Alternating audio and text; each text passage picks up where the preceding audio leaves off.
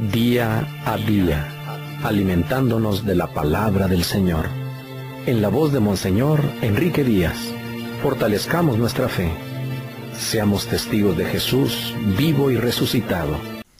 Queridos hermanos, hermanas, hoy recordamos a San Martín de Porres, uno de los santos más populares en nuestra América Latina y que es reconocido por su caridad, por sus obras de misericordia.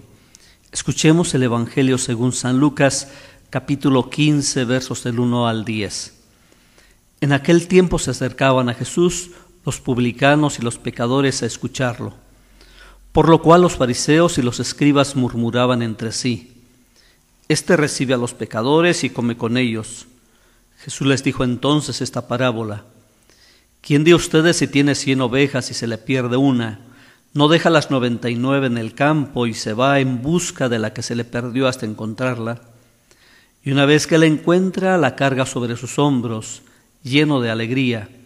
Y al llegar a su casa reúne a los amigos y vecinos y les dice, Alégrense conmigo, porque ya encontré la oveja que se me había perdido. Yo les aseguro que también en el cielo habrá más alegría por un pecador que se arrepiente que por noventa y nueve justos que no necesitan arrepentirse.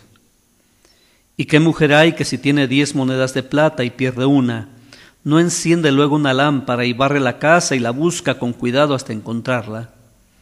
Cuando la encuentra, reúne a sus amigas y vecinas y les dice, alégrense conmigo, porque ya encontré la moneda que se me había perdido. Yo les aseguro que así también se alegrarán los ángeles de Dios por un solo pecador que se arrepiente. Palabra del Señor. San Lucas es el Evangelio de la misericordia, el Evangelio de la alegría y el Evangelio del perdón. Quizás yo no había comprendido mucho el sentido de esta alegría de encontrar al que se ha perdido. Días pasados a una familia regresó una jovencita que después de tiempo de andar perdida, regresaba a su casa. Ellos sabían que habían dado en malos pasos.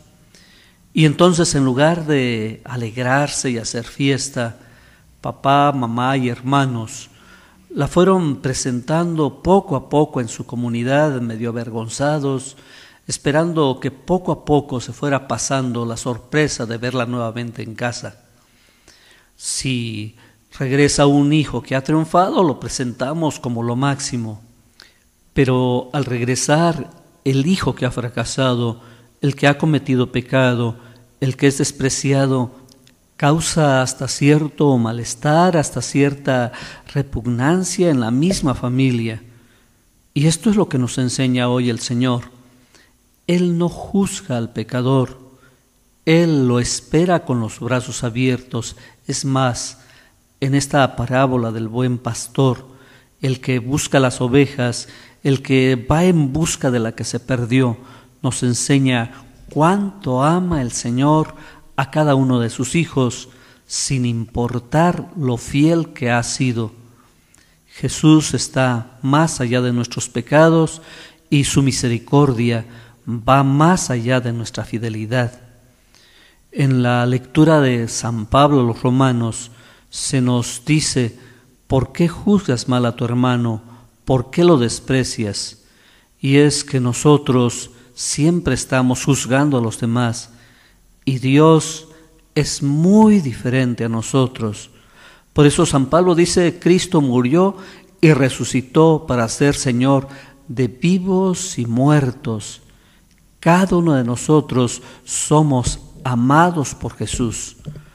El Evangelio de San Lucas hoy nos invita así a que nos reconozcamos amados por Jesús, queridos por Jesús, acompañados por Jesús, que hoy miremos con gran alegría los brazos del Padre que nos esperan para encontrarnos a pesar de nuestros pecados y a pesar de nuestras fallas.